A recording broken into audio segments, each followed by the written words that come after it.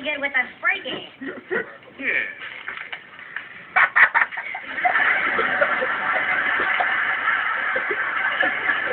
I'm an artiste.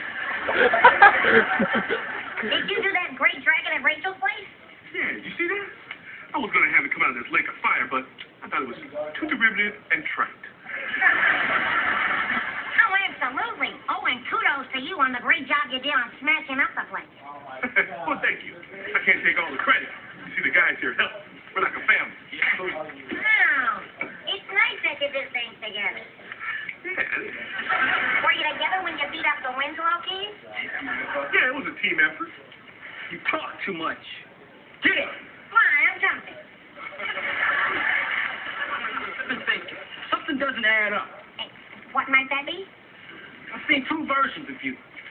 A wimpy little nerd and this.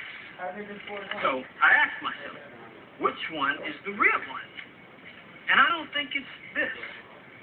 Nice earring. Oh! Why, lucky for you, that was a clip-on. So then I asked myself, if this is just an act, why are you really here? Ooh. Come up with an answer? It occurs to me that you could be wired.